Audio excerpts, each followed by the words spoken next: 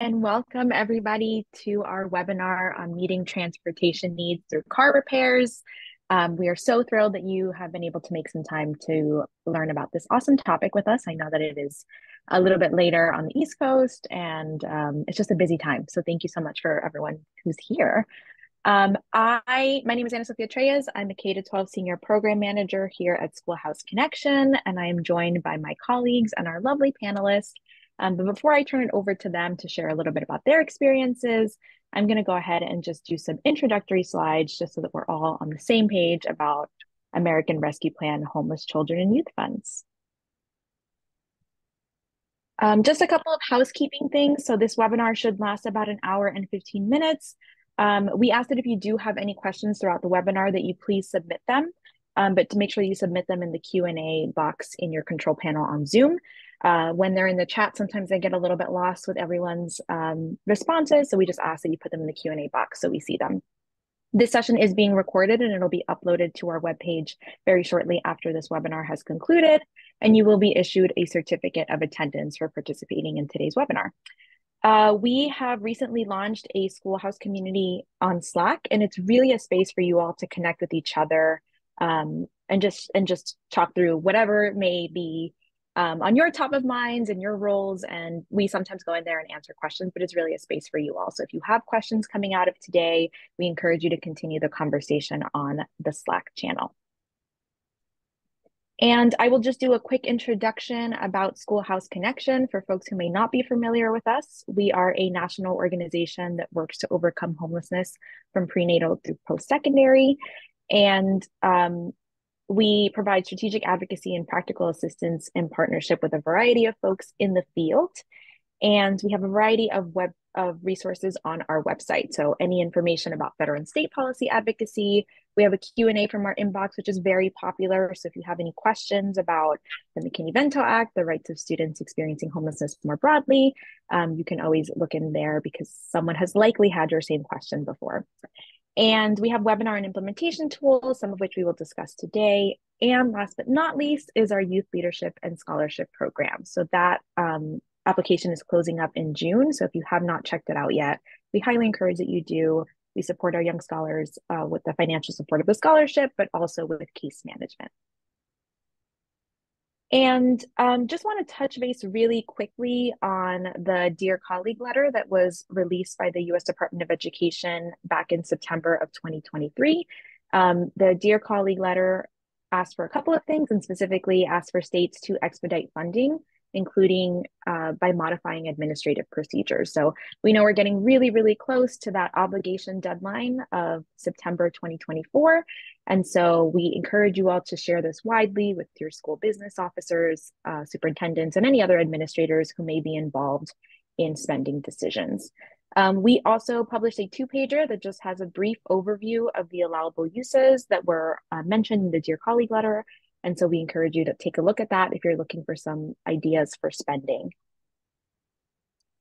And a couple of other highlights to cover is uh, the Dear Colleague letter did specifically mention that food assistance is allowable when reasonable and necessary. Um, so again, thinking about those summer months and how to support students experiencing homelessness um, when there's no other food uh, supports available. Also thinking about um, early childhood education. So many uh, activities are allowed to support early childhood education are allowable uses of ARP-HCY funds. I know transportation can be a really big one. Um, so that's another one that can be allowable. So really any of those activities. And last but not least would be um, just any activities to support college and career readiness. So um, thinking about providing support for students and parents to complete the FAFSA, um, and really any other activities to um, ensure that smooth transition. And the last two things I will highlight are just the purchase of vehicles um, and reimbursing parents and youth for gas costs. And of course, we're all here today to talk about limited car repairs. So that is also an allowable use of ARP-HCY funds. Um, motel stays of three days or longer when reasonable and necessary are also allowable uses of ARP-HCY funds. Um, I also quickly just want to highlight that we have been busy publishing two pagers um, in response to some of the webinars that we had. And so if you do want some more information about things like purchasing a vehicle or how to provide hotel stays or summer activities, we do have uh, quick two pagers that you can look into um, to figure out how to do that in your districts. And we do also have sample MOUs and forms available on our website. So again, we just wanna make sure that you have all the resources to meet that obligation deadline in September. And with that, I am gonna go ahead and stop sharing my screen and turn it over to my colleague, Karen, to introduce our panelist. Good afternoon, everyone. It's a pleasure to be with you as always. Um, for those of you who I have not had the opportunity to meet, I am Karen. I'm the Senior Program Manager of Education Initiatives at Schoolhouse Connection, and I am so happy to be joined by our panelists today, uh, Claire, Melora, and Paige. Thank you so much for being here with us. Um, I will turn it over to you all to introduce yourselves. Um, wondering if you can introduce yourself and just give us some information about your district, um, location, size, and then the number of students that you have identified. So Claire, I'll start with you if you wouldn't mind kicking us off. Yeah, for sure. Um, so my name is Claire Bergman. I am the McKinney-Vento coordinator um, for the Sun Prairie Area School District. Sun Prairie is a city right, out, right outside of Madison, Wisconsin, um, just a little northeast of it. Um, we have about 8,400 students in our district. Um, last year we identified 187 students, and this year we're at 301. So we've had a massive jump in, in students this year um, identified. Um, and yeah, we're we're constantly growing because Dane County, the area we live in, is um, ever changing. So thanks, Claire Melora. I'll turn it over to you to introduce yourself. I'm Melora Horn. I am the McKinney-Vento Program Coordinator with Roanoke City Public Schools, um, located in Roanoke, Virginia. I have been here for 21 years. Um, our school district is around 13,000 and um, we're right now we're a little over 600 students, um, but typically that's our average. Um, we have gone up closer to almost um, probably 750, but right now we're at 600. So I'm excited to be here and thank you for, for inviting me. Thank you so much. And Paige, I'll turn it over to you. Hi, I'm Paige Walters. I'm with Montgomery County Public Schools, and that is Montgomery County in Virginia, not Maryland. Um, I'm right next door to Melora. Um, we are in Southwest Virginia. We have just a little under 10,000 students. Right now, we're about at um, 9,700 students. Um, this year, this is my first year doing this. Um, right now, we've identified and served um, right about 190 students um, through McKinney-Vento this year. Thank you so much, everyone. Well, I'm so excited to have this conversation today because talking about car repairs and looking at our timeline with spending funds, um, this is a really great way to, to do those in the limited time that we have to meet those needs of students with their transportation. So, um, Claire, I'll start with you. If you could talk about how did you determine that using your ARPA-HCY funds for transportation needs um, was going to help you to best meet the needs of your students? Yeah, so I think um, a lot of our families, uh, a car issue can really send them over the edge and and them end up being identified as McKinney-Vento, right? Or who are our families who are already experiencing homelessness really um, cause further barriers to finding housing, especially in our area. We are very car dependent. Um, our bus routes don't go very far into our city. They're really housed within Madison, um, and only one route comes out to Sun Prairie, so it's pretty infrequent. Um, so we knew that families are really relying on their cars to get kids to school and we know that um, transportation is a big cost for a district, right? So um, gas reimbursement is is a cheaper option for us than providing taxis and the other services. So we um, kind of thought that car repair would be a good way to support our families so that they can continue to not only help their kiddos get to school, but hopefully help them maintain their job and you know continue to make strides towards finding housing. So those were kind of the some of the reasons that we determined it would be a good option. Thank you, Melora. I'll turn it over to you with the same question. How did you determine that this was a way to use your ARPA-HCY funds to meet the needs of your students? Um, so how it started out with me, um, we do have um, a huge fundraiser every year, and we have a pot of money that is not, it's it's private donations, so it's unrestricted. And so how this came up was, um, this was probably, probably a year and a half ago. Um, we had a parent that um, was out of zone. We did not have a bus. Um, we were offering, you know, other alternatives. She had a, a van. And so she decided she would drive her children to school. And then um, we were getting calls that children were checking in late every day. There was some attendance issues. So I reached out to mom. And so um, mom said, well, I'm having trouble uh, because I have to pull the van over every so often and add water to the radiator. It's overheating. Um, just so just a series of different things was going on. So through that process, I, you know, she was talking about she was trying to get it fixed. And so I asked her, like, did she have an idea of how much it was going to cost? And did she have someone reliable, um, you know, to be able to fix it? And through the conversation, after she started talking about some other things, I started feeling like that, you know, I didn't want to um, go into this without knowing, okay, will fixing a radiator fix all the issues, you know, because there might be other things going on too. So at that point, um, we have a really good relationship. I sit on the um, CTE Council, Advisory Council, it's our Career Technical Education um, Council, and so have worked pretty closely with our um, auto repair uh, program. And so, you know, just started thinking about some different things. So what I decided was I would have him, um, you know, called the instructor and said, hey, is there a way for us to, if you can get the van there for you to check it out to make sure. So he, he, we did all that. He calls me up and he's like, Melora, this is like, I don't even, this, this van's not even safe for her to be on the road, period. It's really bad. And so how that kind of started all this was they just happened to have a car um, that the students had repaired. And so often with if someone donates a car, they do the repairs and then they sell the car and the money goes back into the program. So um, the director of the program um, is very supportive of our program as well. And so um, she actually agreed that if the mother could purchase that car, that she would sell it to her for $500 which was amazing because this car was like had new it had new tires and everything was he checked it out from know it was great.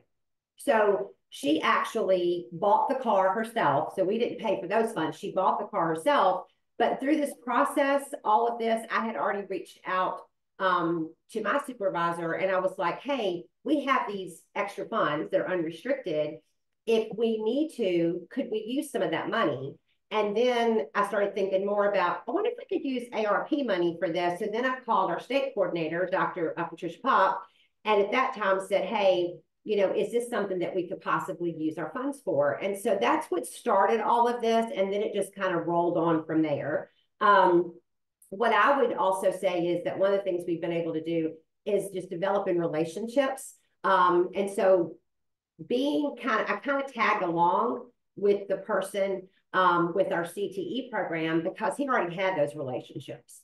Um, they had been working with our school division for a long time. So like advanced auto, Firestone, just different mechanics, different, um, you know, um, there was, uh, um, uh, there's another AutoZone. So different, different organizations and businesses were already supporting that program by giving discounted cost um, and things like that. So um, as we moved forward, um, any of our parents that you know, had some, if they, if they mentioned to us they were, you know, they couldn't drive their kids to school right now because they were having car issues, I would just ask questions about what was happening.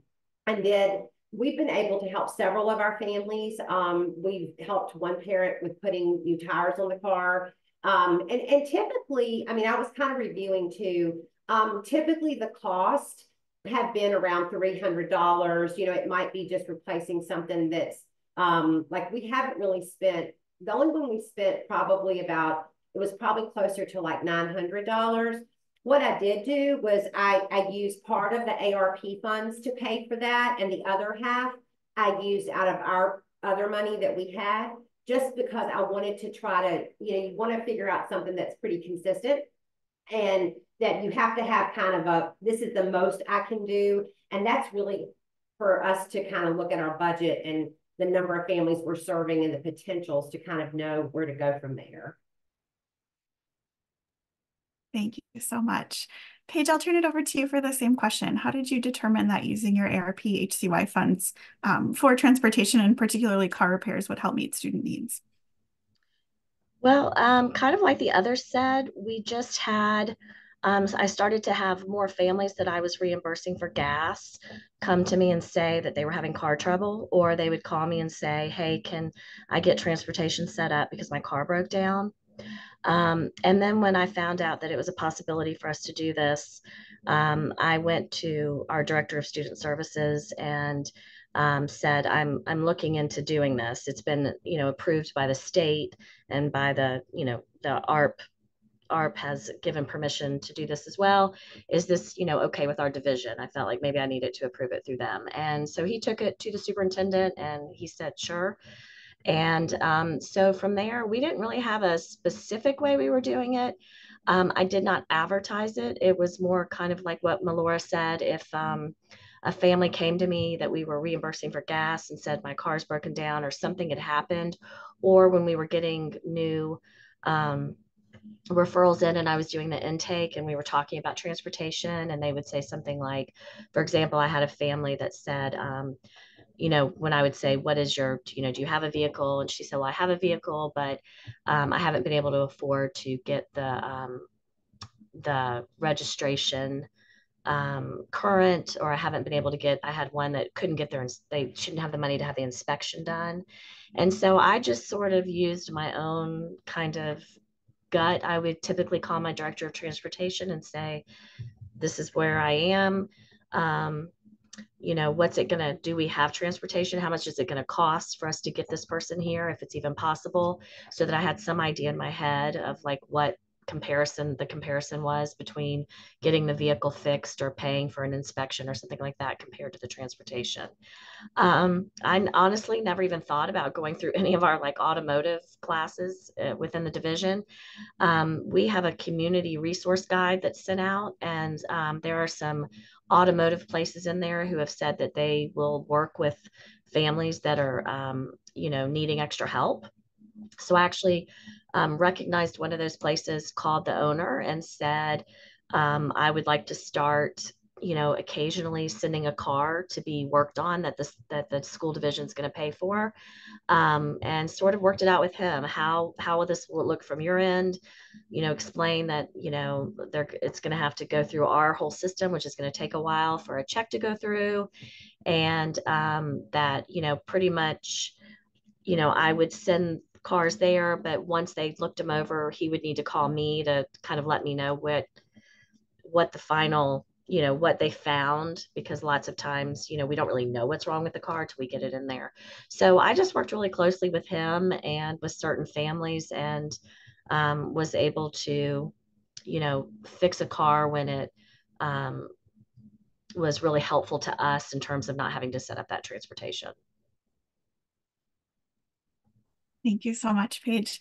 Claire, I'll turn it over to you for the next question. Um, you know, that we've talked a little bit about how that's looked with in um, with with Melora and with Paige as well. But what did it look like for you when you had families um, who needed car repairs, or when you were setting up transportation for them? Yeah, so um, the biggest things that we were trying to figure out similarly, like was where do we where do we start, where do we go? So we typically have a family send a quote to us um, that they receive to get a sense of what the scope is looking like. Um, we don't, we didn't pick a particular um, site that we worked with just because a lot of our families are kind of all over the county. So it was a little hard if it needed to be towed or stuff like that. Um, so we typically require a quote and then from there I would contact the the site um, that they chose to get a little more sense and look at their process and procedures for payment. Um, I'm very lucky that I have a P card and my business office made it super easy. So I just am able to send the tax exempt in my P card and we get it squared away that way. Um, but overall, I would say like the biggest things that we've seen are tires, especially in Wisconsin with our crazy weather. Um, and then, you know, some oil changes and then some um, different like specific things. And I'm not a car person and I admit that full-heartedly. So I rely very hard, like very much on our transportation uh, or our buildings and grounds people to kind of help me out and like make sure I understand what's going on in that sense. Um, so overall, that's kind of been our processes. If a family um, says it either to one of our school social workers or myself, like it's getting hard to get the kids to school, or we notice through attendance, we'll typically ask if they can send a quote and then kind of go from there. Ask a follow-up question to that. Do you have Yeah. any kind of limit or threshold of this is what we'll pay for, this is versus this is what we won't pay for? Yeah, so we've done like up to five hundred dollars as kind of our max. And then um if it's if the quote comes in over that, we talk with the family, like if it's six hundred, do you have a way to pay for this? Because we don't want to set them up for failure, right? Of like they need a certain thing, or if there's multiple things, we try to talk with the car company to prioritize what what do they need most that will be safe and functioning for that family. Um, so that's how we kind of start that conversation. In terms of what we do and don't do. Um, I know when I talked with our statewide person, they were a little hesitant um, for us to do specifically around um, like registration and things like that. They really wanted us to focus on like the vehicle itself functioning. Um, so we kind of stuck to those parameters for car repair. Thanks, Claire. Well, Laura, I'll turn it over to you. You've talked a lot about your partnership with CTE, and I think anything else you want to share with us around that is great. Um, would also love to know kind of, again, that practical piece of how you navigated some of the payments and approvals and kind of spending part of it as well. So um, I will say that I have been extremely fortunate. Um, it, it took a while, but um, you know, it's kind of like um, I just kept asking. There, there, certain things kept coming up over the past few years where I really needed a credit card for this program, so I could actually have a way to to go out and pay for things if I needed to. Um, it took a lot of conversations, a lot of explaining, a lot of documentation, um, but also I feel like you know those those conversations are very important, and we all know that I mean, and I'm kind of like this, and I think most of us are probably that do this kind of work. I will ask for anything. Um, the worst thing you can tell me is no, but to really have your reasons for why you want to do this and kind of be able to show them. So our um, CFO, who I've, you know, have a great relationship with, she's very supportive of the McKinney-Vento program. Uh, she's at every single fundraiser we ever do. Um, she understood. And she's like, we're going to go ahead and, and do this. That really helped a whole lot. The other thing is, again, um, and anyone that hears me ever speak about anything, it's about those relationships that you build. I'm a huge advocate for getting out there and talking to the people in your community. Um, having kind of going on like, you know, with um, the director of the CTE program was very helpful. Um, so basically, you know, I said to him, I said, um, the first time I said, hey, can you, can we do like a three-way call or something so you can kind of introduce me? And then I just kind of took it from there. So, um, like with Firestone and some of those places, um, they actually did an invoice and just invoiced us. So if you do an invoice, like if you don't have a credit card, then most of us know we have to have like a, a purchase order and get that pre-approved. But what you can do um, is go ahead and, you know, you would have to have them set up as a vendor so that you could cut a check to them. A lot of these companies, I mean, they respect the school division. They know we're going to pay them. So a lot of them, if you don't have access to a credit card, it would be to set up a purchase order and get them to invoice you and then just cut them a check as soon as that invoice comes in. Um, that was another way that we've done it as well. And so um, people have been really awesome to work with. Um, and I, especially when you tell them what we're doing, you know, um, and again, this blew my mind, um, at, at Firestone, um, I could not believe the deal that this guy gave us, um, for this, for this woman's like, you know, brand new set of tires. Um, and I think that that's the other thing too. Um, and I, I don't know if this is a good time to to throw this out there, Karen, but I want to share a couple other things, if that's okay, to really think about, especially given examples. So when we're when we're able to do something like this, we're not just helping our students get to school, we also are really helping our parents have a way to, to a job.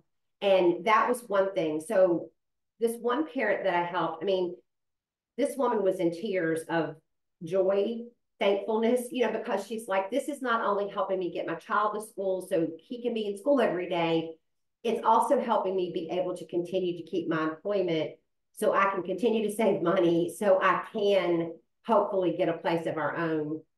And I think that's another thing that we're, you know, it's it's a trickle down effect. Um, the other thing that was really important, we helped this one mom that had become homeless because of domestic violence. And knowing, working with people who are going through something like that, not having a car um, is another way of just completely feeling isolated and scared. Like I have no way, even if I could, you know, I don't really have, I have to wait for somebody to come pick me up. And so this one woman that was, um, that we helped with tires, she shared with me afterwards, she was transporting her children, but she also said, you know, this has been so much more than just helping me transport my kids. She said, this has given me an opportunity to feel like I'm getting some control back in my life because this is something that was always kind of hanging over my head. You know, you don't even have a way to, to, to leave if you need to, dependent on someone else. So I just wanted to, to kind of share that too, because that was something that was kind of, for me, you know, when we help someone with something like this, we're, we're helping them for a specific reason, but all the other different things that are positives that come out of that. Absolutely. Thank you for sharing that. Paige, I'll turn it over to you for the same question. Um, you talked a little bit about kind of your purchase order process, um, but just wondering if you can talk any more about kind of what that process looked for you, how you worked with your business office. Um, and you also talked about working with your transportation director. So I'd love to know more about that too. Yeah, so um, we didn't really have a, a limit to what we did. Um, I never really kind of got that organized with it. It was more kind of spur of the moment type things. Um, we actually spent uh, uh, quite a bit more on per vehicle than um, the other two panelists did. Um, but we probably only did this for about five families. Um, but we spent up to, I think on one um, vehicle, we spent maybe $1,600 um, getting it fixed. Um, typically, it really depended like that family that we spent 1600 they were out of district. And so the cost of us trying to get out of district to get them like had that been a, a family that was within district and needed that probably would not have been able to to cover that because the costs probably wouldn't have outweighed you know um, the transportation. But because they were so far away and we weren't able to do it you know i, I talked with the transportation director and said, Hey, do you feel confident that, you know, based on what you know of getting the buses or a van or something out there, that this $1,600 would be less expensive than you um, trying to go to this other, you know, county and get them? And he agreed. So um, my school's been very um, laid back, if I can say that, about about spent me spending this money. Um, as long as i have the approval of you know our state um, person and i typically you know will email her and get her to send you know yes this is approved or yes this falls under. Um, they've been pretty much like you know it's you know you do what you need to do with the money um, so i've been really lucky in that situation because i haven't had to really you know fight for for the money or or for ways to spend it. Um, you know, we were lucky enough that we had so few, and they were all tended to be in the same area that we were able to use the same person. Um, although we did um, have to do some things with, we paid some for some things at the DMV for some families, had to do the same process of getting them to be a vendor. Um, luckily the the place we worked with was willing to accept a check and understood that it was going to take some time for the check to get there. And um, i would recommend if this is something that you want to do and you have the money i would recommend opening a po for maybe let's say you know a certain amount of money that you're willing to put towards this. You know maybe it's $3000 or $5000 um, if you have an open po for it. And then each time that you need to to use it, it all goes under this one PO. So you're not trying to go get a PO each time you you need something done. So I think if you did a PO, you know, um, if you have a if you're using a credit card, you can do a PO to the bank company. um, like to the credit card company, saying that this is for vehicle, you know, assistance or repairs. Um, or if you have a place like we did where it's kind of the same place was doing the repairs, you could open a PO for that one and kind of use it until it runs out. Um, but yeah, we've been, you know, our I work with the director of transportation, I worked with our finance people, but and you know, my supervisor who's the director of student services and all are pretty much like if the state says you can do this, this is your money and you know, that sounds great to us. So I've been lucky in that sense that I haven't had a lot of pushback. Thanks, Paige, and thanks for sharing that about the purchase order. I think that's really helpful because I know that's that's a barrier in many LEAs, and so I appreciate that comment too. Um, I want to kind of shift gears a little bit and think about what happens after ARPHCY. Um, and so there is time, I want to say it just very clearly that there is time to get these processes set up, especially as you're starting to think about back to school and how you're going to provide transportation. Um, Paige mentioned a comment earlier about really looking at those transportation costs and weighing out, you know, is a, is a simple car repair um, or a basic car repair a less expensive way to get a student to school than to have to reroute a bus or something like that. And so really thinking about that as an option for using your funds as we kind of approach that back to school time. Um, but also with that said, I know that September 30th will be here before we know it and January 2025 uh, will also be here before we know it. And so want to kind of have some conversations around that sustainability question um, and what happens with this and how, how will you continue to do car repairs, if you will.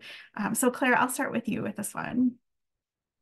Yeah, this is definitely something that's at top of mind right now as the school year is coming to a close. Um, so we have pretty much gone through all of our ARP funds at this point that we were allotted. So um, our city actually released um, a grant for unhoused initiatives that they allowed the school district to be um, able to apply for. So I applied for that. Um, it is ARP dollars, but it, we have an extended timeline on it. So we'll be able to continue some of our funding through next school year, which is great through that. Um, I'm also looking into like the United Way in our county has some really interesting opportunities for grants. Um, and then we also have a program called Community Schools, which is a 501c3 that supports our school district. So we're just trying to get creative with kind of our partnerships and seeing who can can support us. Um, and my role is fairly new to our district. Um, it's about six years old now, so the McKinney-Vento program was mostly in the hands of the schools-based social workers. Um, so having one person kind of overseeing the things has allowed us to see how much need really is out there and, and what we can do with all these dollars, which is really exciting. Um, so I think we're also looking to evolve to hopefully have some sort of way to collect donations too, because we've seen that our community is really seeing the need and wants to help as well. Um, so we're just trying to get creative with the community partners, grant opportunities, and then, you know, working with our community who's been really supportive so far. Thanks, Claire. Well, Melora, I'll turn it over to you. Um, same question about sustainability and kind of what your plans are as you think about the post ARPHCY um, timeline. Well, I think um, again, like I was saying, we've had um, our help the homeless funds is what we call the the money that's unrestricted. We've had that now for probably about eight, eight years, eight or nine years. And it's grown. And so a lot of people um, are familiar with our big fundraiser we do every um, December. It's Breakfast with Santa. All the proceeds are 100% go to our program. All the food and stuff is donated through the food services for the school division. Um, so thinking about that sustainability obviously is is important and a little scary because you really want to be able to look at all those different ways. So the things that I've looked at is, um, and just to go back, I guess right after the pandemic, um, you know, and just with the cost of everything increasing, we were getting a lot of referrals for like um, electric bills.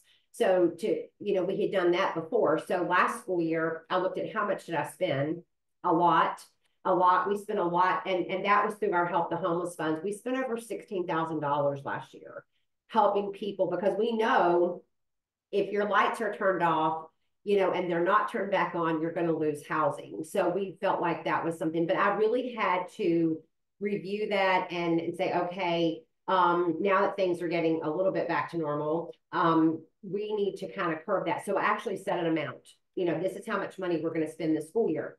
So that is probably what I'm going to look at doing. Um, now we're very fortunate, like I said, because we do have this unrestricted money, but to really kind of cap that so that we have that set aside. Um, the other things I would encourage people to do, and I know you hear this all the time, but really get involved with churches in your community because you're going to have people that are car repair people and that own um, places that can and have connections. Those are, again, that's about that communication, that connection. Um, and so one of the things that we have a church that um, absolutely just, I mean, literally, like, I just never know when he's going to pop by and he'll just bring me a check. Sometimes he brings us 500, sometimes he brings us a thousand.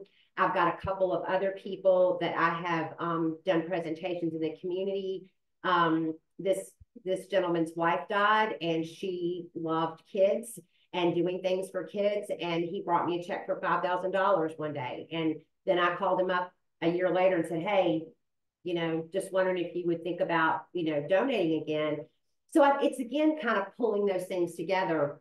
And I think that it is something that we can have as a, a sustainability plan um, because what I've learned about fundraising is people want to help. Um, telling people that, oh, donate money to our program. Most people are like, okay, but people like to know what do you need? What, what, where is my money specifically going?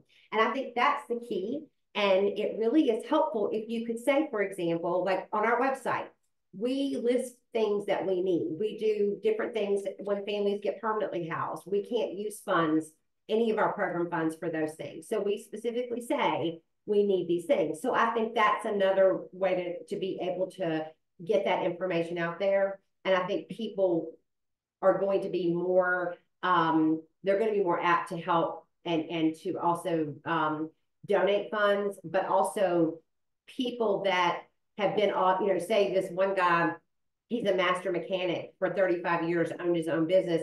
He just said, you know, even when I retire in a few years, I still want to help. Um, and a note on that, he also experienced homelessness when he was younger.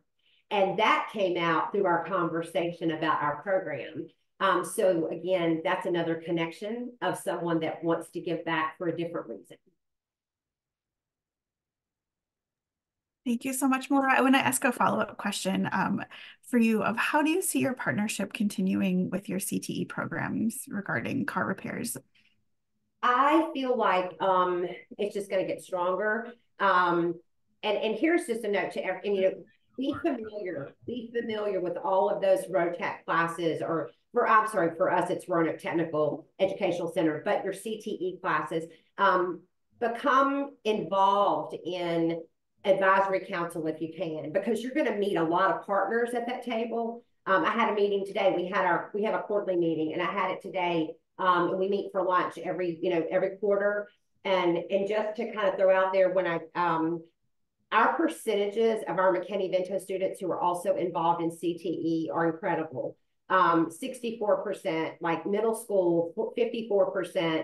It's really high numbers. And I feel like that that's another way to, to, to merge those things together, those two programs together. And um, I know that um, when we had a, um, we have a senior shine and where we recognize our seniors and we had that a few weeks ago. And so he, this person I'm talking about, he actually was our guest speaker.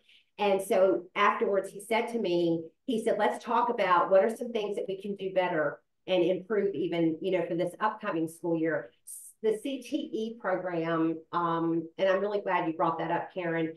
I just really recommend learning about that at your school division, what's available. Get yourself involved and be at the table because you're going to learn a lot. And that's how you're going to make some really, really great connections to be able to provide these services.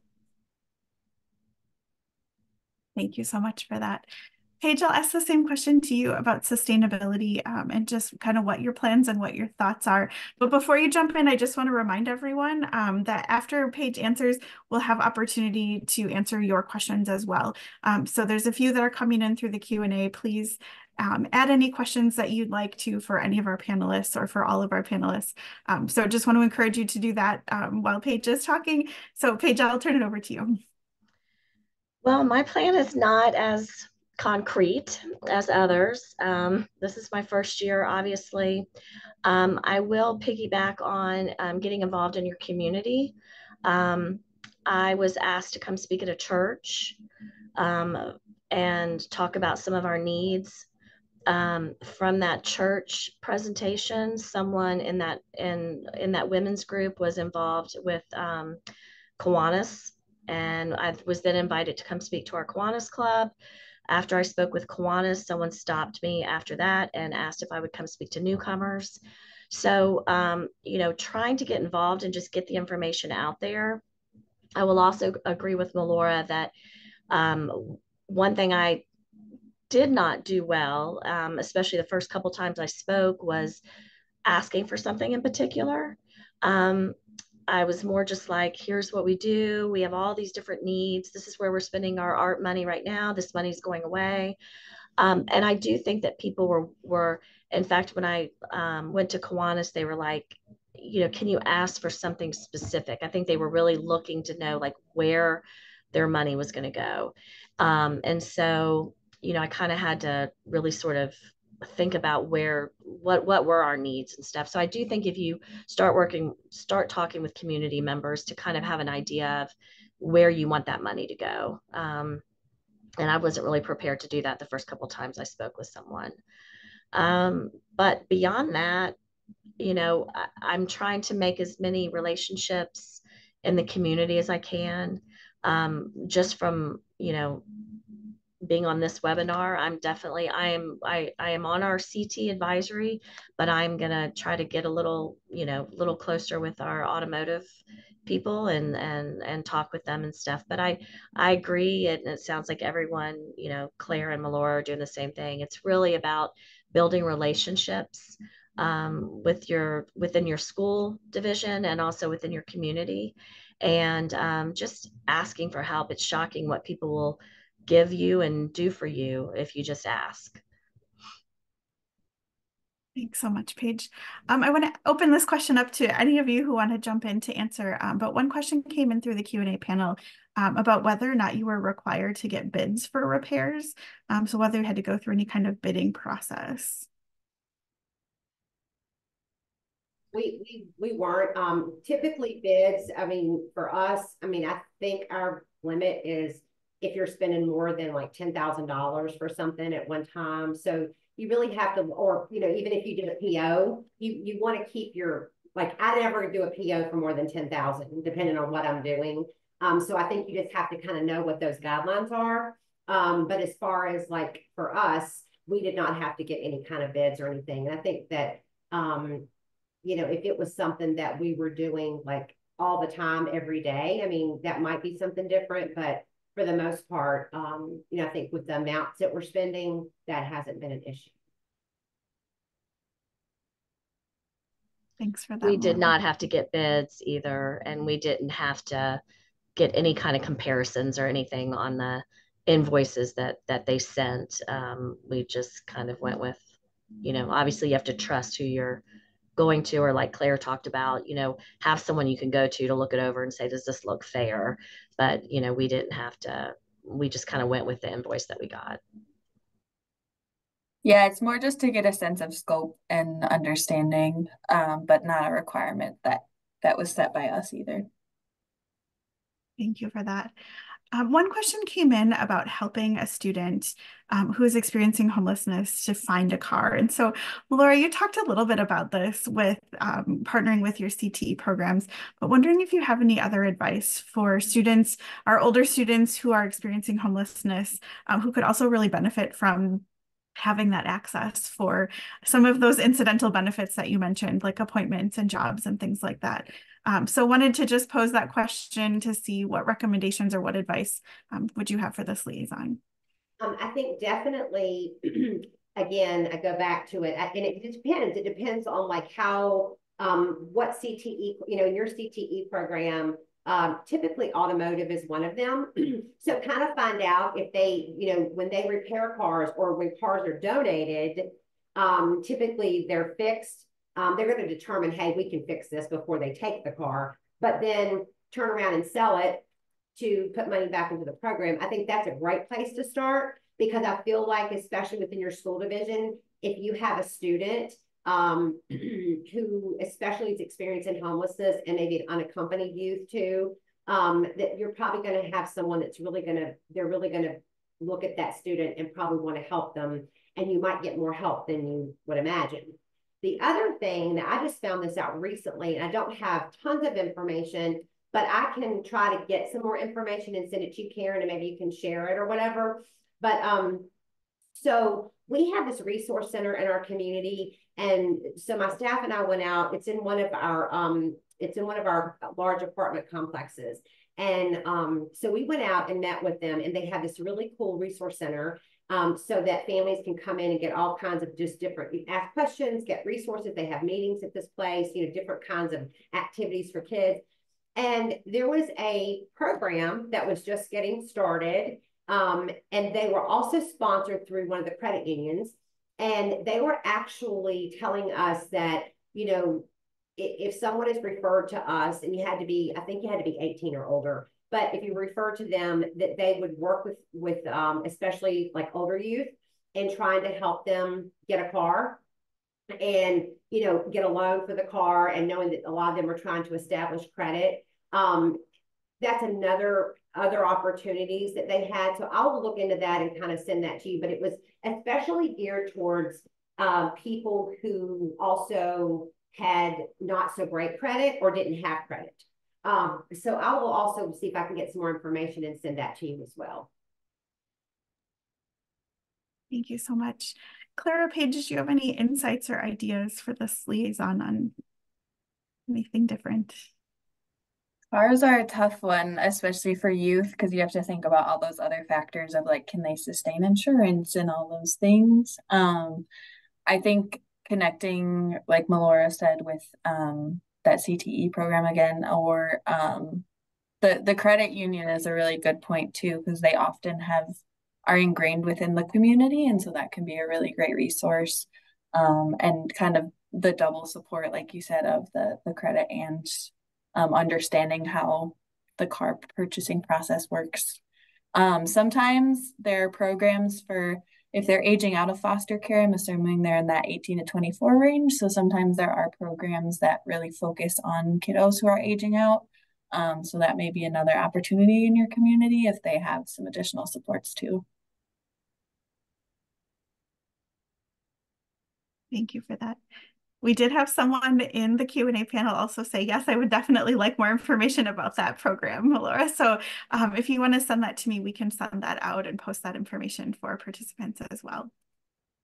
Um, we did have a question come in um, specifically from someone who's working with um, students in foster care. Um, and so thinking about how to refer families to schools. Um, so I want to kind of flip the question a little bit because I know that you all, your the work that you do and your expertise is working with students experiencing homelessness.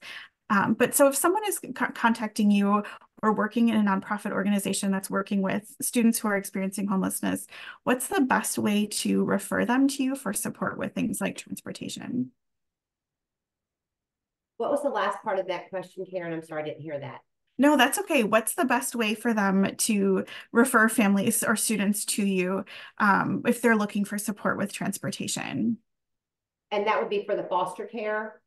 Well, I kind of flipped the question a little bit. The question came in specific to foster care, but since you all are um, here talking about your McKinney-Vento programs and your students experiencing homelessness, um, kind of flipping the question to be specific to our students and families experiencing homelessness.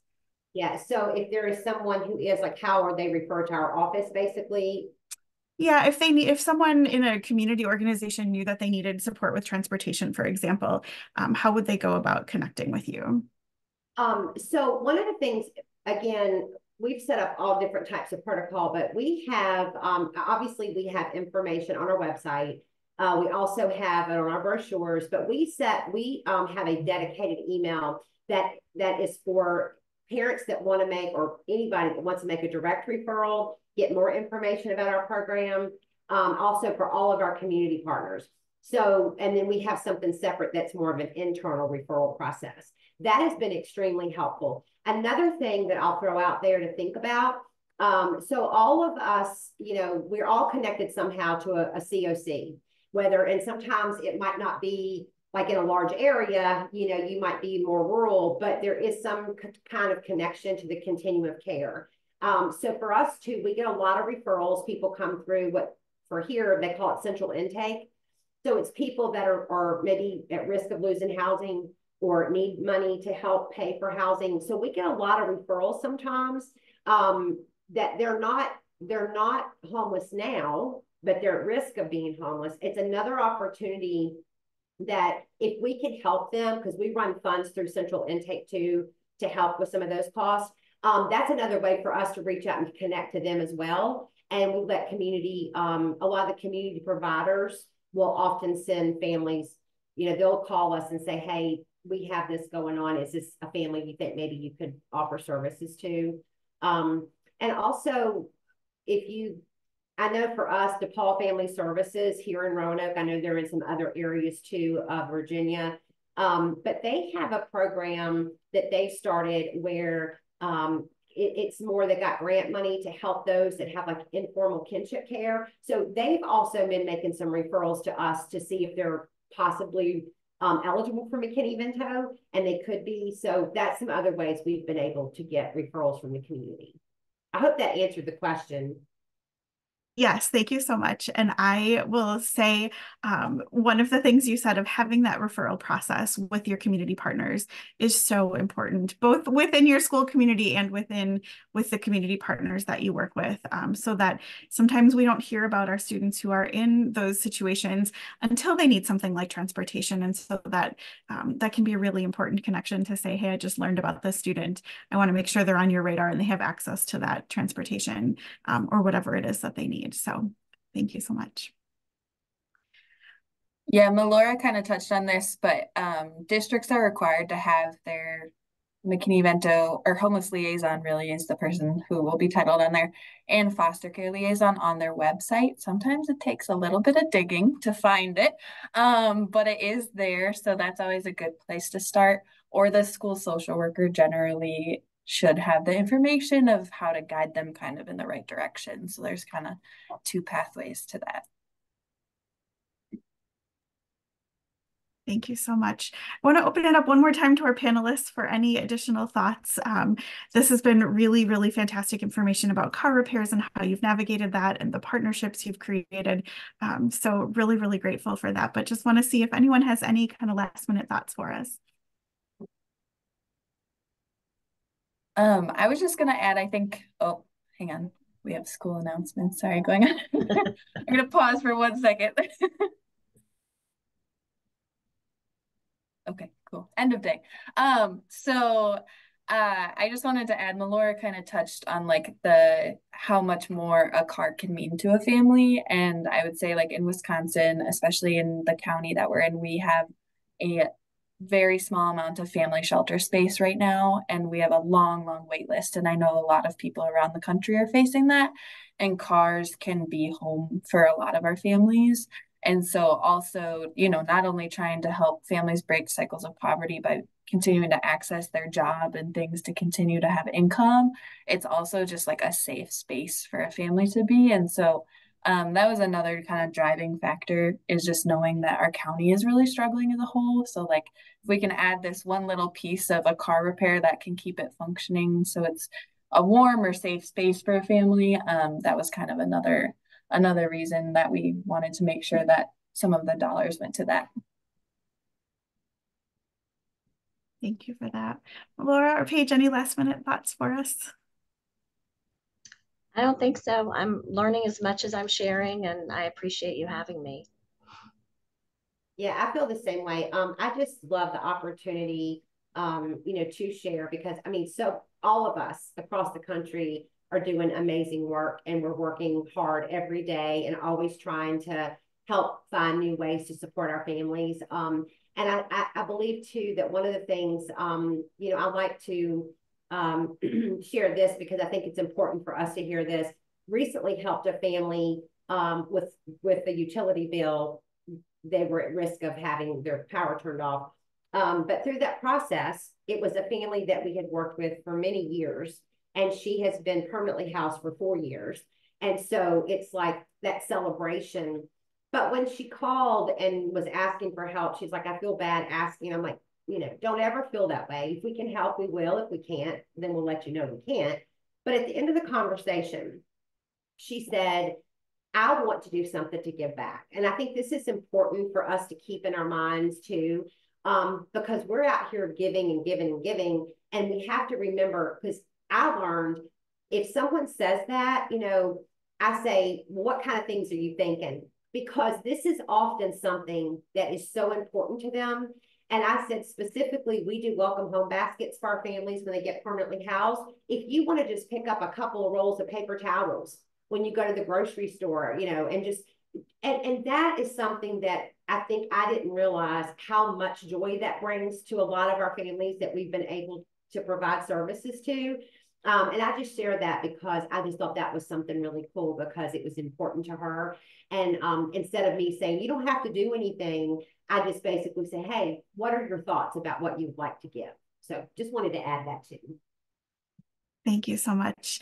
I'm going to turn it over to Anna Sophia again, but before I do that, Claire, Melora, Paige, thank you so much um, for being here with us, for sharing this great information. I'm super appreciative of your time and all that you're doing. So um, thank you so much. I will turn it back over to Anna Sophia.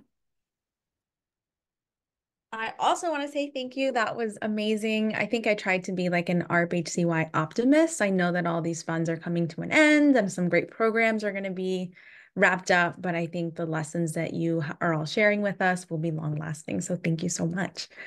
Um, I'm just going to wrap us up with a couple of slides here. Again, just want to put another reminder for our scholarship program. Um, I just want to plug, I don't think I said this earlier, but uh, this is open to any students who have experienced homelessness within the last six years, and um, it's also open for students who are undocumented. So we know that for that particular population, there is limited options. So just something to keep in mind that um, that application will be closing up in June. So make sure to check that out.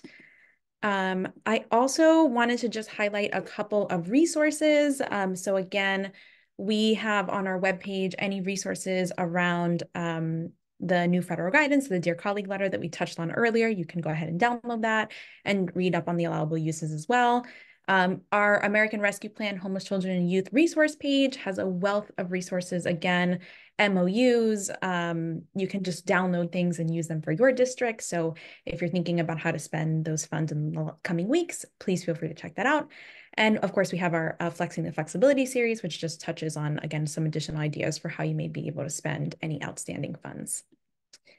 Um, I want to make a big, big plug for our final ARP-HCY um, help, well, I guess kind of webinar, but um, we will be having a, a help desk um, in May. And so we encourage you all to sign up and register. That registration is open on our website. Um, and if you have any questions, if you just want to get some ideas about what to do, we know, again, we're getting close to that spent obligation deadline. Please feel free to join us and we will be happy to be there. Um, and this always happens to me. Sorry, can you still see my slides, Karen? Okay, great. Um, let me. Okay. And the last thing is, um, again, reminder that we are on all the socials and please feel free to um, check us out on Facebook, Instagram, X, formerly Twitter, LinkedIn, and YouTube. This is the QR code for our mailing list. So again, encourage you all to sign up to be up to date about all of our updates um, and upcoming resources and webinars. And again, this is the link to our uh, Slack community. So if you have any other questions coming out of today, we encourage you to share them in our Slack channel. And I believe this is my last slide. Um, so again, thank you all for joining us. And uh, we hope to see you soon, hopefully at our ARP-HCY office hours.